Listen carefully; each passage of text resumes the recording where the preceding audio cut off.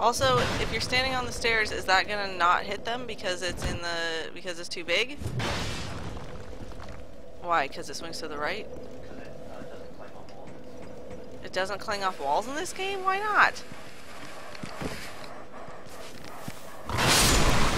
Okay, okay, now go kill the guy at the top.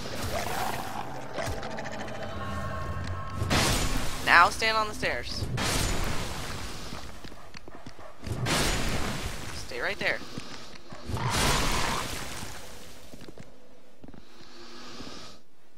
Where is he? He hasn't invaded yet. You need to go further into the area. No, dude. He's invaded. I think he's in. See? Well, then draw him out. You could probably plunge attack from there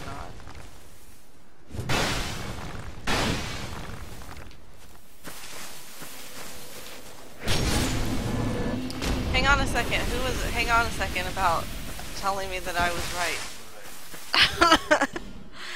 Hang on a second about telling me that you should listen to me. Should listen. Good job, honey.